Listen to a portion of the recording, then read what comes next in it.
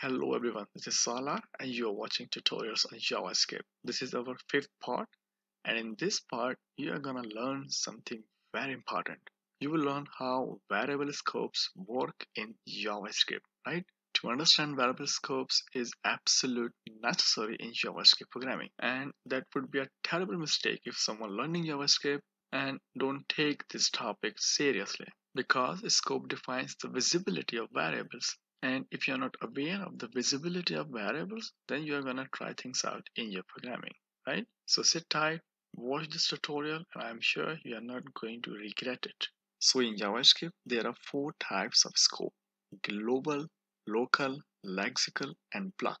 And global, local, and lexical, we are going to cover in this tutorial. And the last one, block scope, we are going to discuss in the next tutorial together with let and constant right? Before we go further and dig deeper into each scope, let me first define the term scope.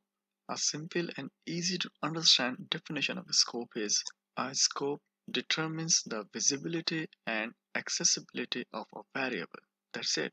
For example, if a variable scope is global, then your variable is visible and accessible everywhere in the program. Right, so that is a scope. Let's now pick one scope at a time and try to understand it. And we will start the global scope. When you declare a variable in a global scope, then it is known as global variable. And a global variable is accessible everywhere in your script. Let's try to understand global scope and global variable with the help of the example. I set up an example that you can also see on the screen. The example code is simple. I initialize a variable and then we have a function. So don't be scared of function. It's just a code with its own block. And we are going to learn them later on, right? So a function has its own block. And programming, we mark a block by using curly brackets. So this opening and closing bracket is actually creating a block inside the script tag. Now inside the function block, we are trying to log our variable. And here we are calling the function a function need to be called. That means in order to run this function, we need to call it.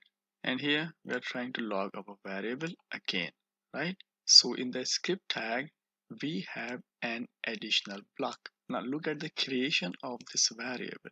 This variable doesn't belong to any block. It is placed directly inside the script tag, right? So when you define a variable or a function directly inside the script tag, it becomes automatic global and can be accessed everywhere in the program. Like this variable is created outside of the function and we are able to read it inside the function block. So the variable is visible or accessible inside the function and of course outside of the function. So a global variable is accessible everywhere. And in the browser you can see that there is no issue right? So a global variable doesn't belong to any block and it's created directly inside the script tag right? And it will make more sense when we look into the local scope. So let's now jump onto the local scope.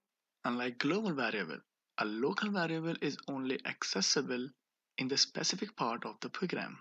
Let's now look at the example on the screen you will notice a small change in the code. Now instead of creating variable in the global scope, I am creating it inside the function. And the function has its own block that we mark using the curly brackets, right? So this block is basically local scope to that function. And when you create a variable inside the function block, it becomes automatic a local variable. And that also means this variable is only accessible inside this block. And when you log this variable inside the function block or function scope, it works. But when you try to log this variable outside of its scope, it will give you an uncaught reference error, right? So a local variable, as I said earlier, is only accessible inside of its own scope, right? And here in the output, you can see inside the scope, we are able to read the variable and when we try to read it outside of the scope we got this uncaught reference error right so now you have seen the difference between global and local variables in javascript a function usually defines a local scope and the variables that you create inside the function become local variables right So let's now jump onto the lexical scope.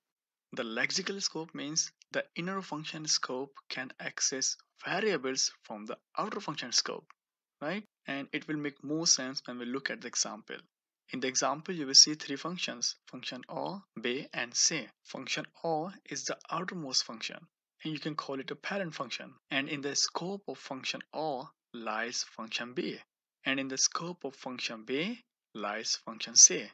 In the scope of function O, which is our outermost function, I initialized a variable. And this variable is actually a lexical variable because all the nested functions, regardless of their nesting level, have access to the variable defined in the parent scope. Like here, function B has access to the variable greetings and function C also has access to the variable, right? So in lexical scoping, as I said earlier, the inner function scope can access variables from the outer function scope, right? But in lexical scoping, the opposite is not true. That means if I define a variable in function C like this, so this variable is not accessible by function B and by function A, right? So the opposite doesn't work and this is how lexical scoping is implemented in JavaScript.